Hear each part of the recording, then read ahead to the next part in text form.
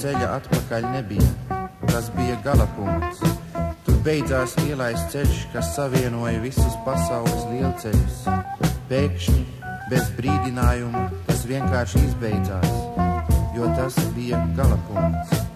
Tur kainieku masas mīņājās, jo nebija tālāk, kur iet.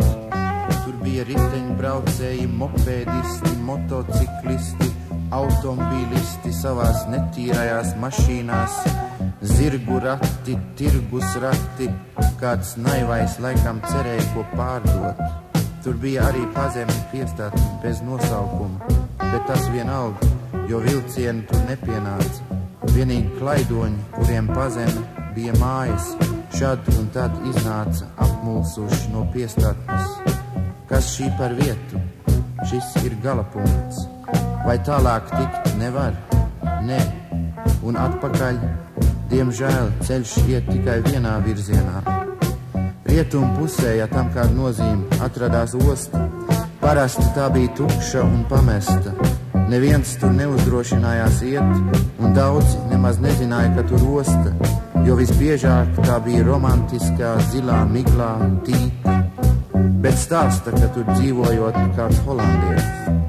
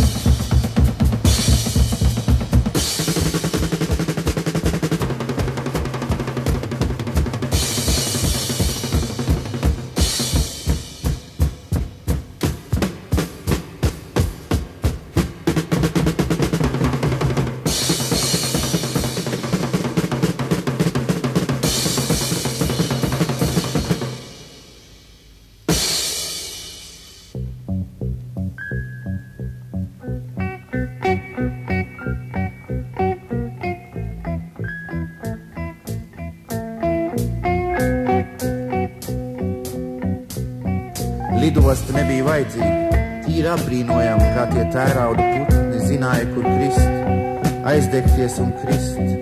Vakaros varēja vērot, kā tie uzliesmo un pazūd. Uzliesmoja un krita, kā zvaigznes, kā cilvēki, kā zvaigznes. Lielākā daļa bija jau izmetuši savas nāves olas, bet ja nē, tad varēja dzirdēt varenus sprādzienus, kā pie jaunbūvēm kā vecgada vakarā, kā karos, Kitty Hawk, Dresdena, Hirošīma, Hanoja. Vienīgā celtne galapunktā bija potenciāliem dumpiniekiem, kā piemēram princesei, kuras slimība bija tā, ka viņa pārāk labi redzēja, vai tiem, kas zināja, ka beidzot bija beiguši būt. Celtnes pārvalde bija administrācija. Nedomājiet tikai par dievu vai vēlmu, tās visas ir pasakas.